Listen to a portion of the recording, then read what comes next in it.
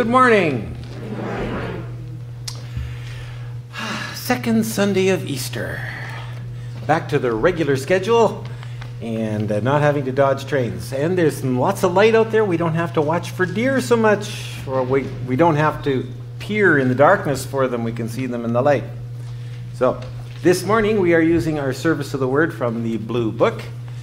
And may we all be blessed as we worship and gather underneath our uh, opening hymn 376 in the ELW. Please stand.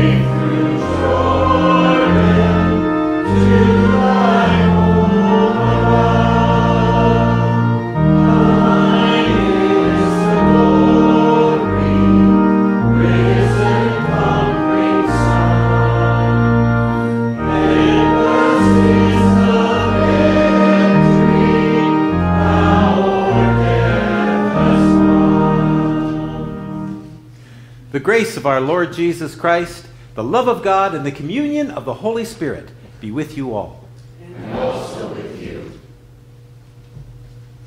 The word is near you. On your lips and in your heart. If you confess with your lips that Jesus is Lord, and believe in your heart that God raised him from the dead, you will be saved. Faith comes from what is heard. And what is heard comes through the word of Christ.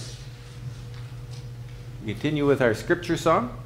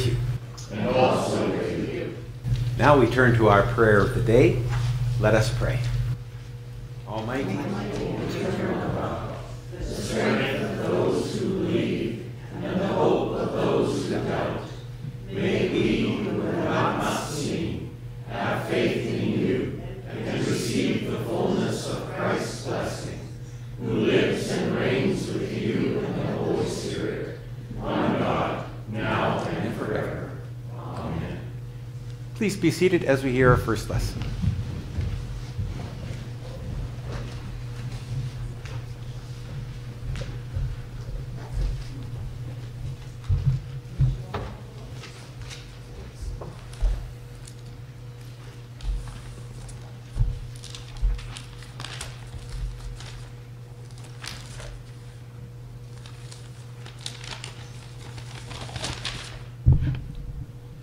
Good morning. Our first lesson comes from Acts chapter 2, verses 14a and 22 to 32. But Peter, standing with the eleven, raised his voice and addressed them Fellow Jews and all who live in Jerusalem, let this be known to you and listen to what I say. Eh, fellow Israelites, listen to what I have to say.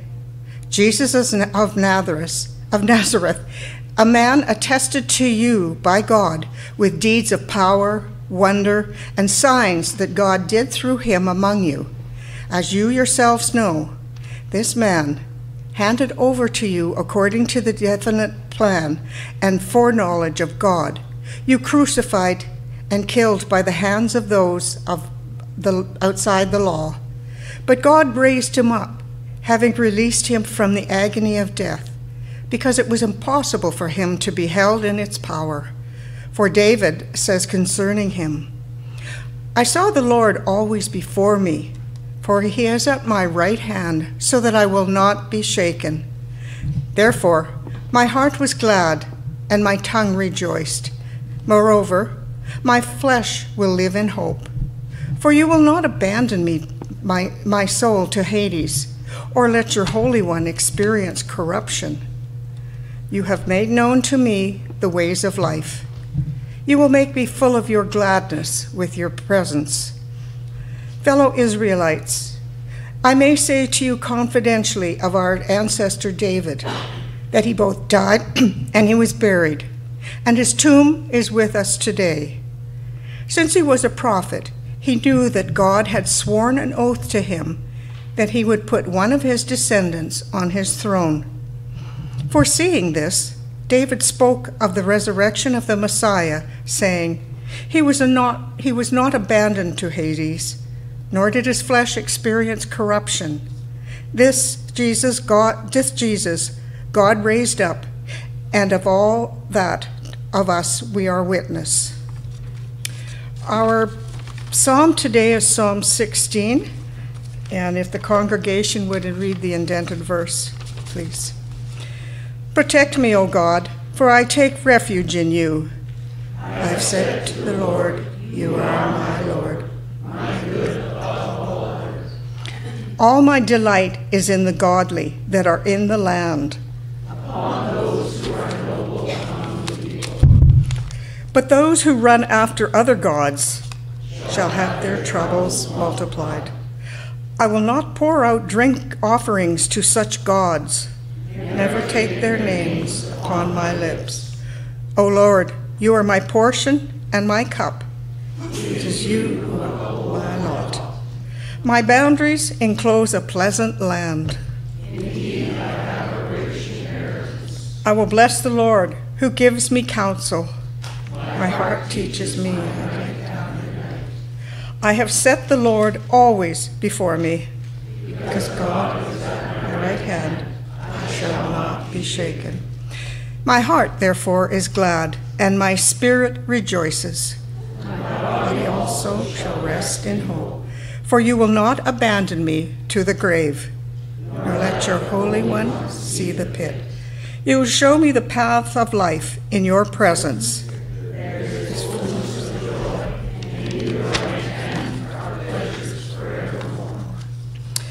The epistle reading is from 1 Peter, chapter 1, verses 3 to 9. Sorry. Blessed be God, the God and Father of our Lord Jesus Christ. By his great mercy, he has given us a new birth in a living hope through the resurrection of Jesus Christ from the dead, and unto an inheritance that is imperishable, undefiled, and unfaded, kept in heaven for you, who are being protected by the power of God through faith, for a salvation ready to be revealed in the last time.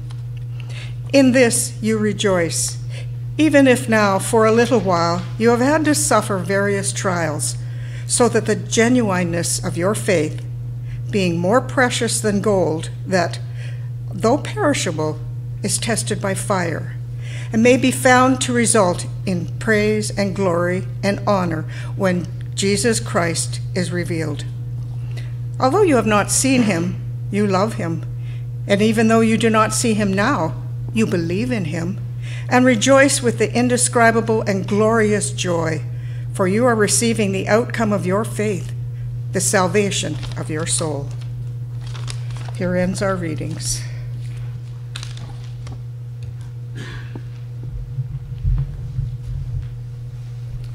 Turn to hymn number 389 in the Red Book.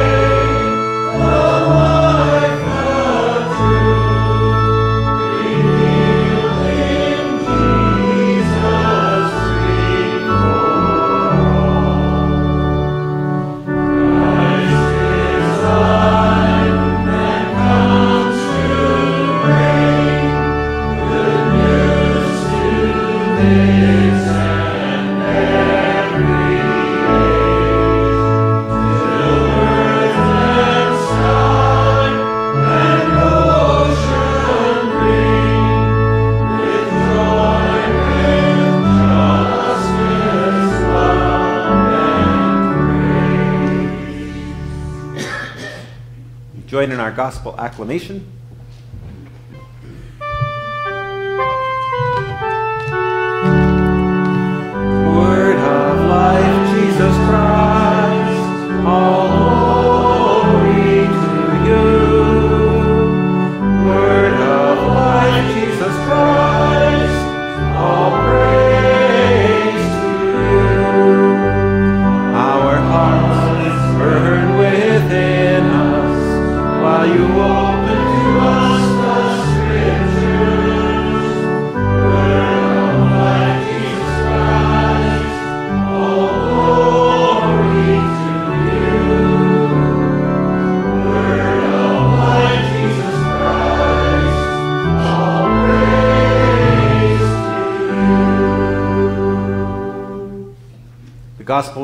This second Sunday of Easter is taken from the Gospel of John, the 20th chapter, beginning at the 19th verse.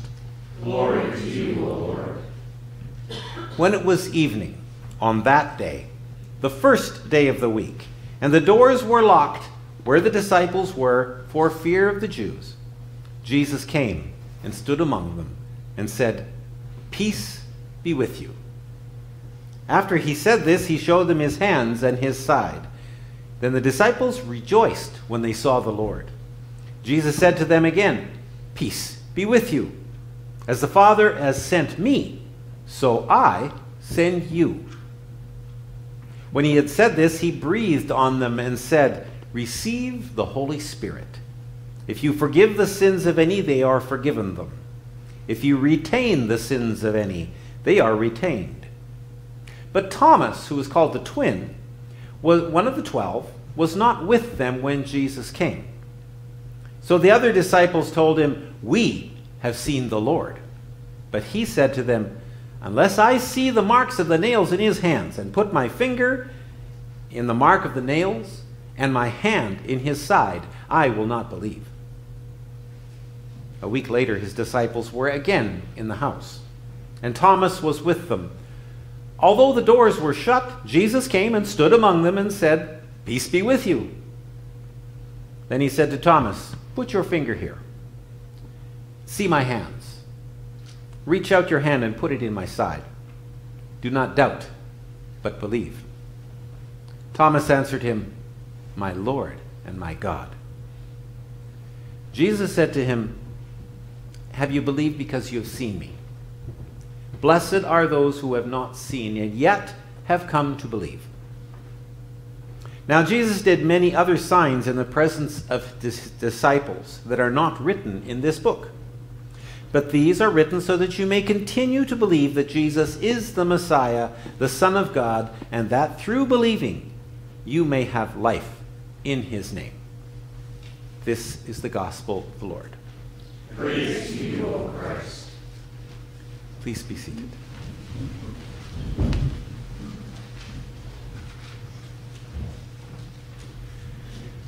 We have a, a wealth, and again, in our readings here of things that could be talked about that we could consider.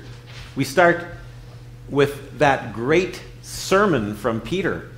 Peter, who, Simon Peter, bless his heart, always had something to say, usually something in, inappropriate or not quite fitting the occasion, but he always had something to say. And finally, here, as he is filled with the power of the Holy Spirit, Simon Peter speaks one of the greatest sermons ever preached.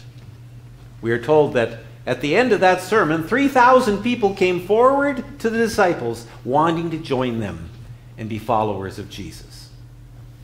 I don't think Billy Graham beat that record. 3,000. That's an amazing, an amazing thing. But Simon Peter spoke from the Spirit that filled him. And finally, he understood. It was in his bones what Jesus was doing. And what Jesus is doing is proclaiming something radically new. It is a message that really didn't appear before. And there's elements that were there. People knew some of these concepts, but Jesus put it together in a new way. John gives us this story of the resurrection. It is new. Now, there's the ascension, that's not new. Jesus going up into heaven to be with the Father, Nothing unexpected about that. Nothing really new. After all, we have the story of, uh, Elijah and how Elijah was caught up in a whirlwind and carried up to God, carried up into the heavens. Only his robe was left behind for his disciple, the sign of authority that was passed to his disciple. Moses, we are told, and according to the tradition, was carried up to God. And that's why his grave was not found. God took him up into heaven. Enoch, the very first of these stories in our Bible, early, early in, in Genesis, Enoch walked in, with God and he was not seen anymore because God took him. The righteous Enoch. So we have these people carried up into heaven. And it happens outside of the Jewish tradition, outside of our Bible as well. The story is told that as they burned his body on the funeral pyre, Caesar Augustus was seen rising in the, in the flames and in the smoke, and his figure rose up into heaven to be with Zeus. Ascension was a well known story. The pharaohs built pyramids, and the earliest of those were step pyramids intended to be like a ladder going up to heaven. And the pharaoh would go up and ascend to be with Ra, the sun god, and then travel with the sun god's chariot with the sun across the sky in the day, and then go down to be with Osiris, the god of darkness and death, at night, and arise again each morning. That's an ascension story. So, ascension was really nothing new. But what is new is the concept of resurrection. The whole idea of resurrection wasn't new either. It was believed by the Pharisees, not the Sadducees. They were skeptics. The Sadducees says, yeah, you know, we, we live once and then we go to God and that's it. But the Pharisees believed in a resurrection, that God would raise from the dead, bring out of the graves all of those who'd been before, and they would stand before God in a great judgment. That was standard Pharisee fare. That was what Saul would have learned as a student of that school the resurrection of the dead. And all injustice would be put to right at that time. Those who had seemed to have profited and gained by their injustice and their evil in this world would receive the proper re- reward for their activities, and those who had suffered and not been given anything good for their good and faithful life would be rewarded by God. Jesus took this proclamation up directly in his early ministry, and he followed in the footsteps of John. John was a proclaimer of this resurrection, and he had this program for how we would set right the wrongs in the world, how we would get rid of these Roman oppressors and once more dwell securely in the land. And John's plan was come out into the desert, fast and pray, purify yourselves, renew your relationship with God. And then, after you had fasted and prayed and were right, you would be washed in the waters of the Jordan and enter the promised land. So the people went out, we are told, into the desert, and that's where they would prepare, and they would come across the Jordan, just as their ancestors had done, coming across the Jordan from Egypt, from exile, into the promised land. And John said, when we do this, God will show up, just as God showed up for our ancestors. And as God swept away the Canaanites and the Amalekites and all of those Jebusites and the people who dwelt in the land, so God will sweep away the Romans from in front of us. But John was arrested. John was executed.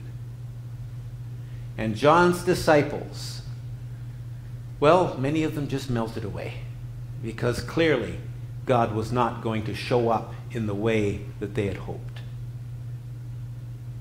But some of John's disciples followed Jesus.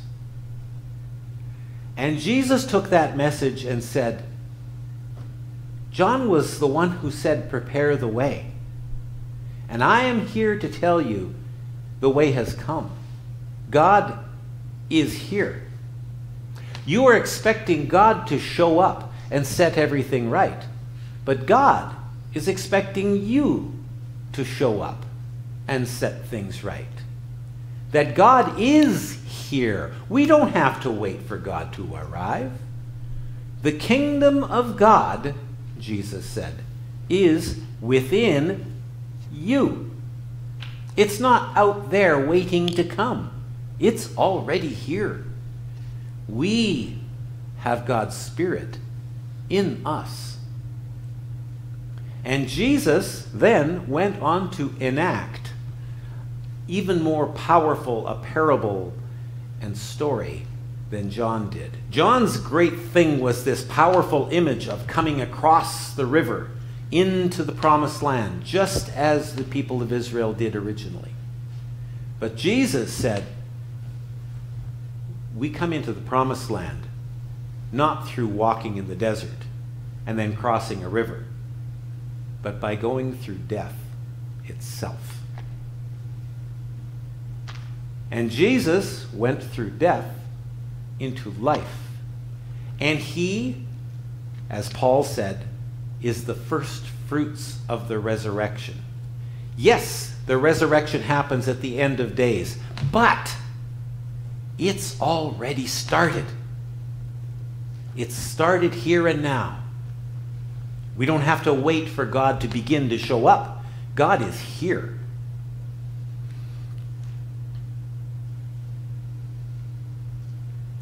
There's a beautiful parable of this, so powerfully illustrated in C.S. Lewis's The Lion, the Witch, and the Wardrobe. It is a deep, deep parable. And in that story, this Aslan, the lion, he's the son of the great emperor across the water, the Son of God. Aslan the lion is the one that they call on for deliverance. And Aslan shows up. But it's not what they expected. Aslan shows up. And in the middle of his arrival, there's this drama going on as he's appearing quietly in the background. These children show up, and one of the four children betrays the other three he goes to the dark, to the dark side, the one who's called the White Witch. He goes to the castle of the White Witch and he sells them out for a box of chocolates, a box of candy. Turkish delight, to be precise. Well, you know, that, that makes it a little more understandable. Turkish delight's pretty good. And this is enchanted Turkish delight. It's magic Turkish delight. And Edmund falls in love with the pleasures of that and the promise of this beautiful woman, this beautiful, powerful figure. And he wants more Turkish delight. And he wants to go and live in the castle with the great and powerful, beautiful king, the queen. And she promises him that he will be a prince all he has to do is get the other children. So that's what he maneuvers to do. But he finds out that he's being played all along. And when he tries to get out of the deal that he has made with this devilish figure, she turns and reveals her true self. But Aslan the great lion intercedes. And he goes to the white witch, and we don't see the scene, but he offers her a deal that she accepts. And the next time we see them, they're gathered on the mountain of the table of judgment, on the mountain of the law, where are written the stories and the laws and the guidelines and the principles that keep the whole land together. And what the White Witch has, has made the deal of, that there has been a betrayal. And when there is a betrayal, that betrayer must die. There must be blood. And Aslan the great lion has just said, I will give myself in place of the betrayer. And your blood sacrifice will be satisfied. Well, the White Witch is thrilled beyond all measure. Because Aslan, this great powerful figure, is the only one who's been able to oppose her and her desire to rule the world. And now she's going to finally get rid of that troublemaker. So she does. And Aslan dies upon the stone table of the law, satisfying the rule of the punishment for the betrayer. But that's not the end of the story. Because Aslan comes back. And he comes back as the sun rises on a Sunday morning. And as the sun touches the table, the table cracks and splits in two, and Aslan appears. And the young girls who've come to tend to the body of their beloved king, their beloved Aslan, as they bury their faces in his living mane, they say, I don't understand. What happened? How did you come back to life? We saw you die. We saw the white witch kill you. And Aslan says, She knew only what was written on the table. She knew only the surface of the law that sustains this place. But there is a deep magic, a deeper story she did not know about that when one who is innocent stands up in place of the betrayer, is willing to die for his friends, then begins an even deeper magic that cracks the law of punishment, and death itself begins to work backwards. So in the story, Aslan asks them to climb on his back, and they run through the country to go and intercept the final battle. And as they go, they see flowers springing up everywhere that Aslan's feet touch. And the snow that has been there for so, so long is melting before their eyes. And once more, spring comes to the land as this deep, deep magic at the foundation of reality. The magic deeper than the law begins to work death backwards. Christ is alive, the first fruits of those who live in God. And we are alive because of him. In us, life springs up. Hope springs up in us who so easily fall into despair. There is something much deeper than the surface of this world, than what appears to us. Retribution, the harsh justice of hatred, the divisions between us all, they are melting away in time as Christ strides across the world with these flowers of spring bounding out of the ground at each of his footsteps. Christ is alive. And because he is, we too shall live. And the story is not over. Amen. Let us join together in our hymn of the day, number 675.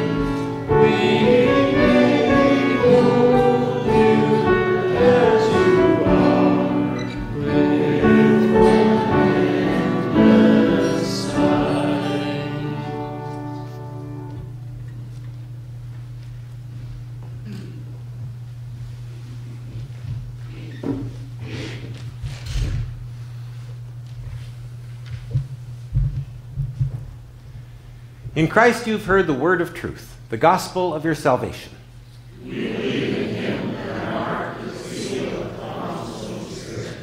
Living together in trust and hope, we confess our faith. I believe in God the Father Almighty, creator of heaven and earth. I believe in Jesus Christ, his only Son, our Lord. He was conceived by the power of the Holy Spirit and born of the Virgin Mary. Suffered under Pontius Pilate, was crucified, died, and was buried. He descended to the dead. On the third day he rose again. He ascended into heaven and is seated at the right hand of the Father. He will come again to judge the living and the dead. I believe in the Holy Spirit, the Holy Catholic Church, the communion of saints, the forgiveness of sins, the resurrection of the body, and the life everlasting. Amen. Build yourselves up on your most holy faith. Pray in the Holy Spirit. Keep yourselves in the love of God. Look forward to the mercy of our Lord Jesus Christ. If anyone is in Christ, there is a new creation. Everything old has passed away. Behold, everything has become new. God has given us the ministry of reconciliation. Therefore, let us be reconciled to God and to one another. Gracious God, have mercy on us. In your compassion, forgive us our sins, known and unknown, things done and left undone. Uphold us by your Spirit, so that we may live and serve you in newness of life, to the honor and glory of your holy name, through Jesus Christ our Lord. Amen. Almighty God, have mercy on you, forgive you all your sins through our Lord Jesus Christ, strengthen you in all goodness, and by the power of the Holy Spirit, keep you in eternal life. Amen. Sisters and brothers, rejoice. Mend your ways, encourage one another, agree with one another, live in peace. The peace of the Lord be with you always. With you. Peace be with you. Live long and prosper. Share a sign of peace with one another as is appropriate and comfortable.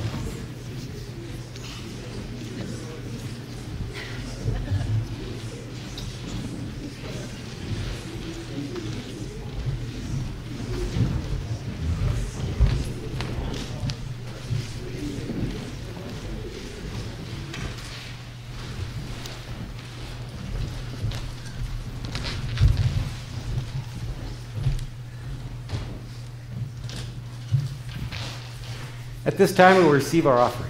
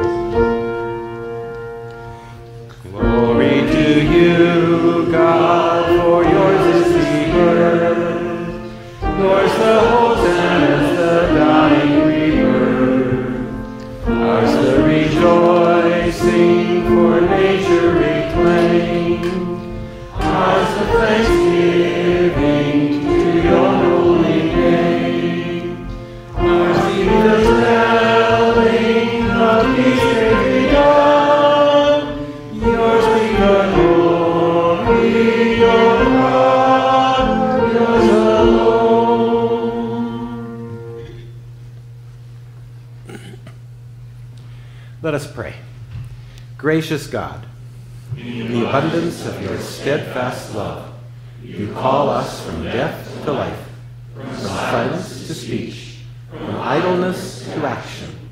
With these gifts, we offer ourselves to you, and with the church through all the ages, we give thanks for your saving love in Jesus Christ our Lord.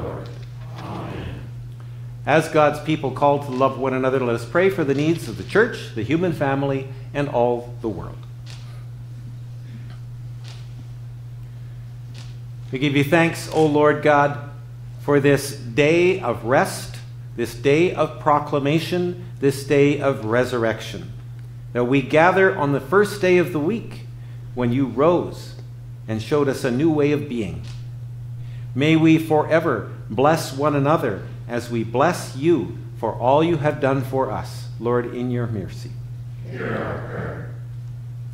We give you thanks that you are living and active in all the world and in so many places. We give you thanks for your grace and mercy and continued care of your people Israel. We ask your blessing upon people of faith all around the world, of many different faiths, for you speak to humanity with a voice that calls to love and care for all.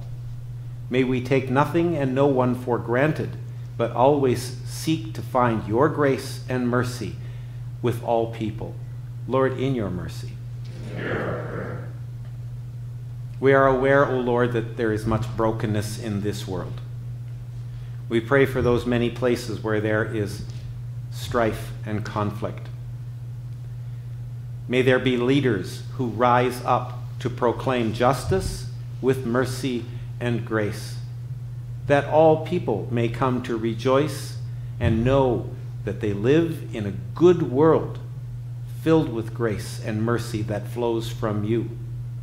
And may we care for one another, especially where there is misunderstanding and fear, and may violence end for all people. Lord, in your mercy. We pray for those in our community who are struggling at this time. We pray for all of those in our nursing home. We pray for those we are aware of and those who are unaware of, who are in hospital or in medical treatment. We lift up before you all those needs of which we are aware. And we name before you your servants.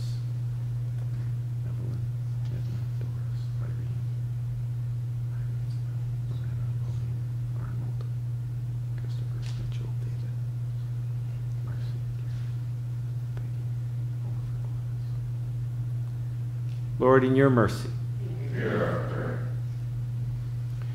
We give you thanks, O Lord, for all those who've gone before us in faithful service, following you and your way of love. May we be encouraged by the footsteps of the saints who've gone before us to walk in greater faithfulness to the end of our days. Lord, in your mercy. All these things and whatever else you see that we need, grant us, O God, for the sake of Christ, who died and rose again, who now lives and reigns with you in the Holy Spirit, one God, forever and ever. Lord, remember us in your kingdom and teach us to pray. Our Father, who art in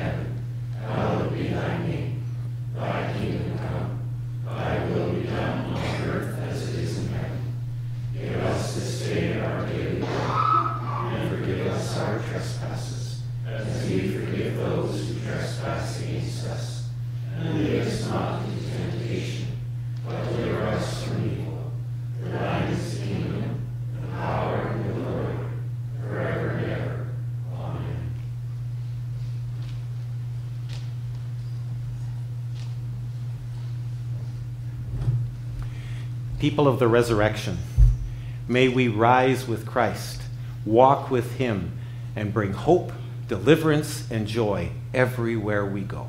In the name of the Father, the Son, and the Holy Spirit. Amen. Amen. We turn to our closing hymn, number 722 in the blue book, 535 in the red book. And in white print on a black screen on the wall.